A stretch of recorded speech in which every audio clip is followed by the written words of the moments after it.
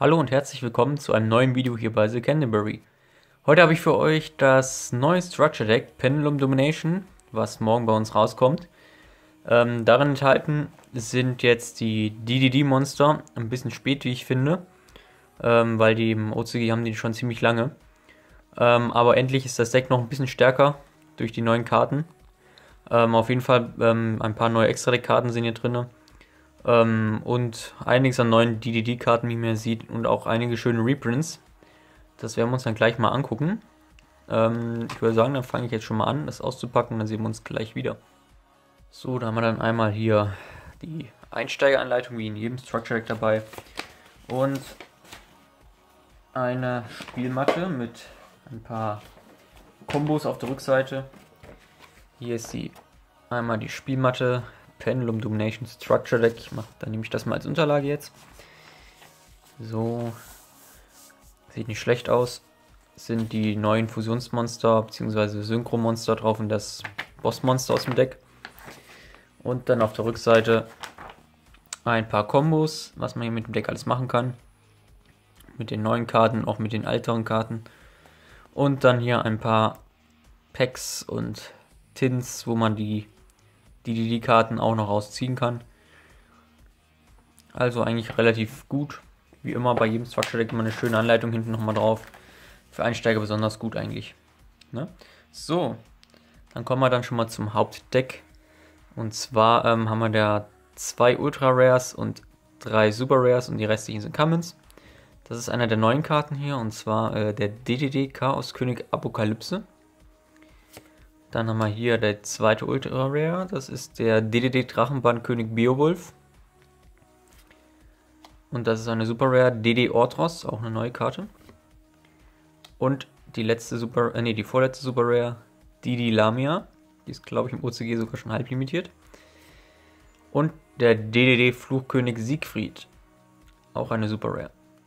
Das sind schon mal die neuen Karten, die in diesem Structure Deck vorkommen. So, legen wir mal so hin. Und dann haben wir hier noch eine neue Karte. DD Gelehrter Newton. DD Gelehrter Kopernikus. DDD Untergangskönig Armageddon, auch nochmal ein richtig starkes Monster. DD Cerberus. Sieht so ähnlich aus wie der Beowulf. Auch eine neue Karte. DD Lilith. Ist auch eine neue Karte.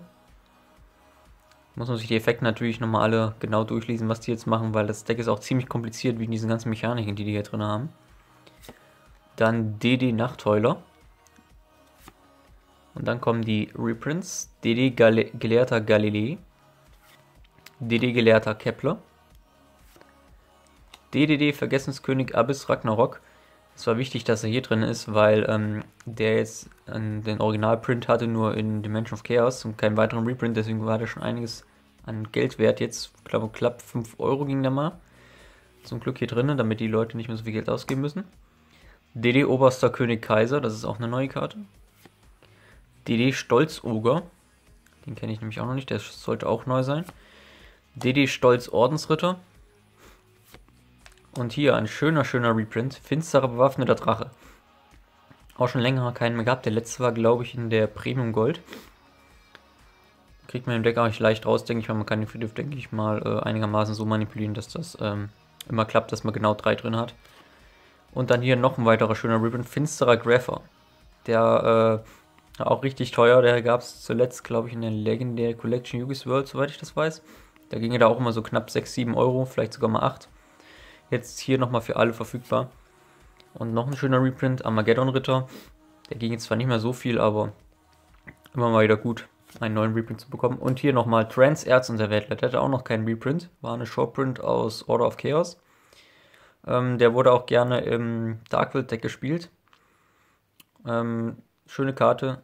Gut, dass sie hier drin ist. Finde ich gut. Dann als weiteren Reprint noch Kuri Bandit. Die erste Common Reprint von ihm. Auch nett. Dann haben wir die Stygianische Straßenpatrouille und Stygianische Sicherheitseinheit. Das waren die letzten Monster. Und dann hier eine neue Zauberkarte, der dunkle Vertrag mit, Yami mit dem Yami Makai. Ja, ganz lustig, hier ist ja der König von Yami Makai drauf. Auch mal wieder schön, den zu sehen nach langer Zeit. Dann haben wir den dunklen Vertrag mit dem Tor, die Search-Karte, die allgemeine. Der dunkle Vertrag mit dem Sumpfkönig. Der verbotene dunkle Vertrag mit dem Sumpfkönig. Theoretisch das Begräbnis ist auch hier drin, auch nochmal ein schöner Reprint. Hat zwar jetzt schon einige Reprints, aber je mehr, desto besser. Einer für einen, auch sehr schön. Die eigentlich ganz gut im Deck, weil wir viel Level 1er haben. Aber auch sonst allgemein eine sehr flexible Karte. Und was mich besonders freut, nochmal Verlockung der Finsternis. Somit wieder weiterhin noch mehr verfügbar für die anderen Spieler, die bisher nicht so viel Geld hatten, um sich die Karte kaufen zu können. Ähm, hier bekommt ihr sie nochmal als Common Reprint, auch ganz nett. Dann der finstere Ausbruch. Notvorräte, oh, auch seit langem mal wieder ein Reprint dieser Karte. Ist natürlich besonders gut in dieser, diesem Deck hier, weil halt ähm, die Zauber und Fallen halt in der Stamper-Phase mal 1000 Lebenspunkte kosten. Und dann kann man halt, um das zu umgehen, die Notvorräte anschälen, bevor sich die ähm, Effekte auflösen, die halt anstatt 1000 zu verlieren, 1000 Lebenspunkte bekommen. Also das wird wohl der Sinn sein, warum diese Karte drin ist hier. DD neu erstellen. Das ist auch eine neue Karte, eine neue permanente. DD Rekruten. Auch eine neue Karte. DD Personalabteilung, die gab es schon. Dunkler Vertrag mit der Hexe. Dunkler Vertrag mit Fehlern. Vertrag verbrennen. Düstere Yorishiro, auch eine Reprint. Der gab es, glaube ich, nur in Shadow Specters als Ultra Rare. Flucht aus der finsteren Mission, auch schön. Und Hoffnung auf Entkommen.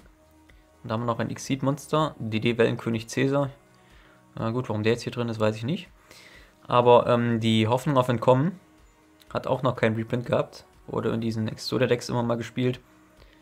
Und ähm, seit Storm of Ragnarok, meine ich, hat die keinen Reprint oder hat noch gar keinen gehabt. Ähm, das ist halt wahrscheinlich der Sinn hier drin, weil wir halt durch die Zaubern Fallen aus diesem Deck auch immer mal Lebenspunkte verlieren, dass der Gegner dann mehr Lebenspunkte hat und wir dann halt für Differenz dann noch weitere Karten ziehen können. Auch eine nette Idee, aber ich glaube, im, dem, im richtigen Deck wird das wohl nicht gespielt werden. Ja, ähm, ist ein schönes Deck. Vielleicht für Anfänger nicht ganz so zu empfehlen, weil das doch schon sehr viel ähm, Combo-lastig äh, in diesem Deck ist. Allein weil wir Synchros, Exceeds, Fusionen machen können und Pendel, alles zusammen in einem Deck. Ähm, ja, mal sehen, was das Deck jetzt äh, reißen wird in den nächsten Tagen, wenn noch ein paar neu, äh, größere Turniere sind. Weil jetzt haben wir eigentlich alle Karten, die noch äh, uns gefehlt haben. Ähm, der Genghis und so weiter, die halt noch gespielt werden im Deck, die sind halt in der Tin ganz einfach zu bekommen. Und ähm, die Orleans, glaube ich, auch da drin. Die brauchen wir auf jeden Fall noch. Sonst der Rest ist eigentlich soweit alles hier im äh, Stockshare-Deck zusammengefasst. Äh, und ähm, werden wir mal sehen, was das Deck dann so bringt. Ob es vielleicht mal toppt. Ich kann mir vorstellen, dass es einige Spieler gibt, die das Deck sehr gut beherrschen, auch vorher schon oft trainiert haben mit und dann mit guter Erfolge feiern. Und schaut doch mal nochmal eine Beschreibung auf dem Link zu unserem Verein.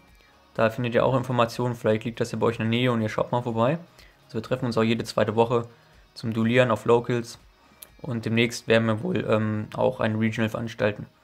Alles klar, dann bin ich hier soweit fertig. Macht's gut, bis zum nächsten Mal.